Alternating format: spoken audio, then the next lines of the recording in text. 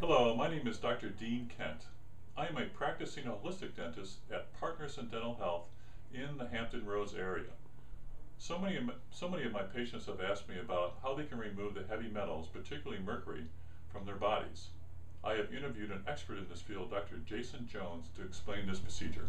Hi, this is Dr. Jason Jones of Elizabeth City, North Carolina, and today we're going to be talking about uh, chelation and chelation therapy. Um, we're going to go through several questions, but I want to give you a little bit about um, our practice and what we do and why chelation is important. Um, uh, as a uh, as a chiropractor, um, we're focused on primarily the brain and the nervous system and how that helps with the function of the body. However, uh, a number of years ago, uh, I actually started to experience uh, a variety of different uh, health ailments, and come to find out that I actually had mercury toxicity.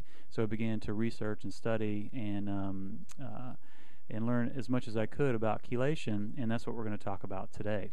Uh, and we actually do that um, and uh, coach people and teach people how to do chelation um, uh, for themselves. So the first question is, what is chelation? Uh, chelation just simply means to bind, um, and uh, there's lots of agents that you could use uh, to do chelation. We're going to go over the more more popular ones today, but ultimately what we're going to talk about is how to bind up the heavy metals that are in our system and in our body and to get rid of them.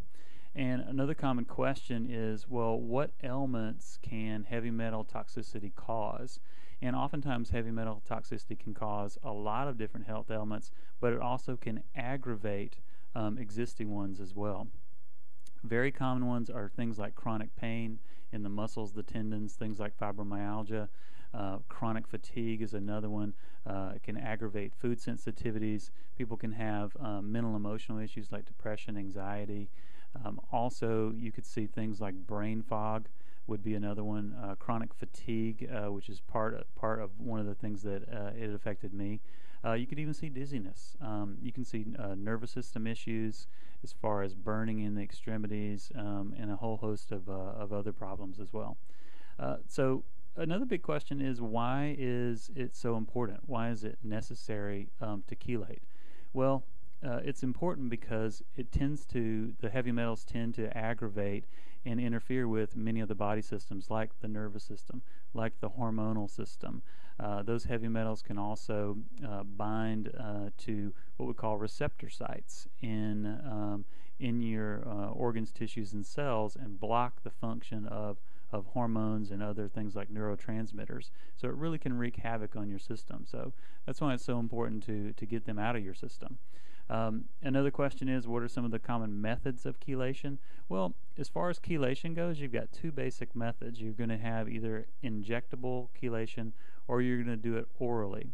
Um, me personally, I prefer the oral uh, chelation, and the reason for that is is that injectable chelation tends to drive up the amount of chelators um, very rapidly, whereas uh, what we've seen over time is when you take an oral chelator and you take it consistently, and usually it's about every four hours, it keeps it, it keeps it level in the bloodstream um, and actually produces a much better uh, long-lasting result. Uh, we tend to use things like DMSA, alpha lipoic acid, and there are other things that you can use to enhance that, um, where you would absorb the toxins in, in your in your gut. Uh, things, uh, different types of fibers would work very well, and things like charcoal uh, would work quite well as uh, also. Um, how does how do you become toxic? You know, from something like mercury. Well, um, fish, uh, certainly um, the uh, um, the bigger, larger, more predator type fish tend to have a lot of a lot of mercury in them. Uh, you can get it from your foods. Um, dental fillings is a big one, especially the the silver, what they call the silver filling or the amalgams. They're typically about 50% mercury. Um, another one is uh, coal burning. I mean, we burn a lot of coal in the United States, and those fumes tend to get out there. And they've even seen research where just in the dust in your home, um, there's also mercury in that as well. So, uh, another question would be should you get tested um, for heavy metal toxicity? And I would say definitely. And the reason being is it's so very inexpensive to have it done.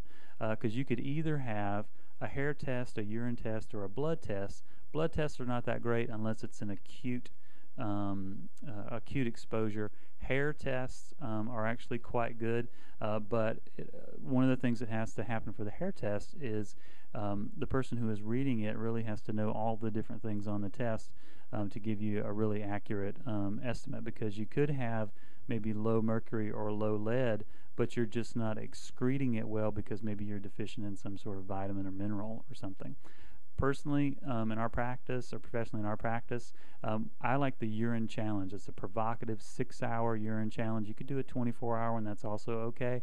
Um, i like the i like the urine challenge because it tends to uh, to give uh, maybe a more accurate uh, result. Uh, but the hair also is a good one. Um, how long does it take to get the heavy metals out of your body? Well typically to get it out of the body and when i say the body i'm talking about from here down um, not talking about the brain. So just in the body, probably six months to 18 months to clear the body. Um, and it really just depends on your exposure. Now, to get the mercury out of the brain, because once it gets in there, it's locked in pretty tight, uh, can take up to four years. Um, and that would be from the time you start all the way up um, to four years. But that would be in, in an extreme case. Are there any side effects to things like mercury chelation? Well, side effects, um, I wouldn't say side effects, but what I would say is you could have some normal detox reactions, things like you would feel tired. Maybe you would have some GI irritation, maybe uh, a little discomfort in the stomach, maybe some diarrhea uh, could could certainly happen. Maybe you could even have a headache. Uh, but when it's done properly, there are also other ways to to minimize uh, those negative effects that you might feel from it. And really, the last question uh, that is extremely common is Will this improve your health? Well, the way I look at it is pretty simple. Uh, since uh, heavy metals have such a negative effect on your health and it can really knock uh, knock you for a loop like it did me, that when you get rid of those things um, and you do it right and you do it well, it can have a profound effect um, on your overall well-being. I know I was extremely surprised at the difference that it made uh, in my life. And again, this is Dr. Jason Jones. Uh, thanks for taking the time to watch this video and um, enjoy the rest of the website.